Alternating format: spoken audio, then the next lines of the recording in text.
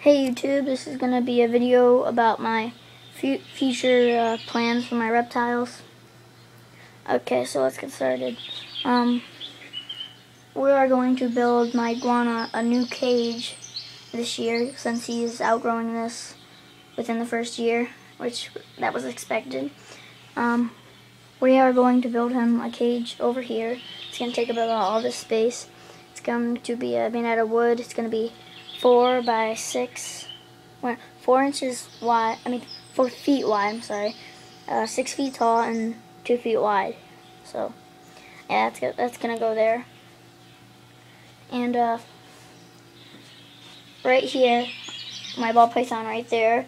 He's gonna get a um, a four by two by two cage. That's it's gonna go right here. This is about this thing right here is about four feet long. Just add another foot to it and then uh, my corn snake will go on top of him in a 4x2x2 cage. And then on, on then these two cages, I'm hoping to get a blood python for that, and a, I think, um, another, maybe another ball python for that.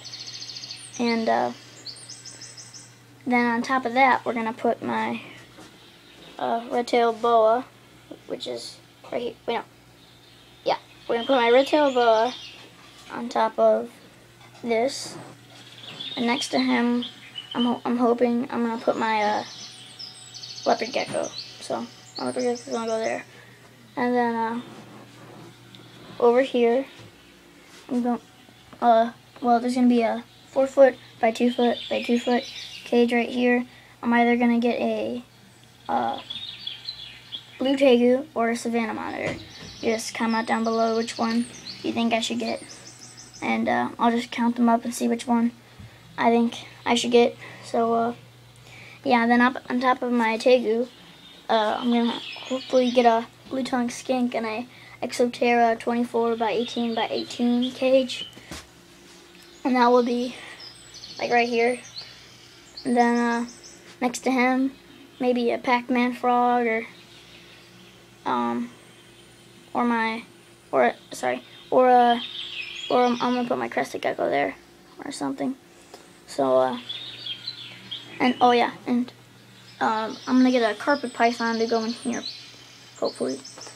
And it's gonna, it's not gonna look like this. It's gonna have like more climbing branches so we can like climb on it more. My iguana likes to like go in trees and stuff. So, yeah, but snakes can't really do that. And uh, yeah, it's my future plans. So uh, if you if you want to ask me any questions or anything, comment down below. And, uh, yeah, don't forget uh, about my... Wait, no. Don't forget about telling, asking me whether to get a blue tegu or a savannah Thank you guys. for Thanks for watching. Bye.